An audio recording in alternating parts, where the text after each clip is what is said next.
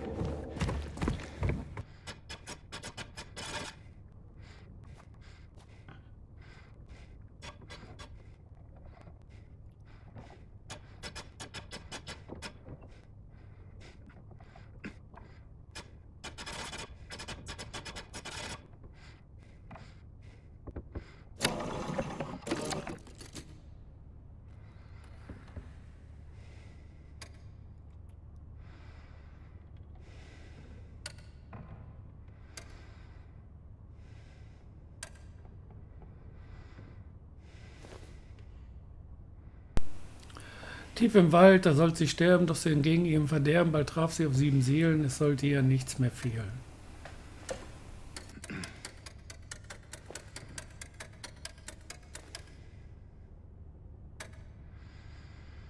Wie sehnt sie sich so sehr nach der Welt über dem Meer, wollte ihm gefallen in ihrem Haar zwei Korallen.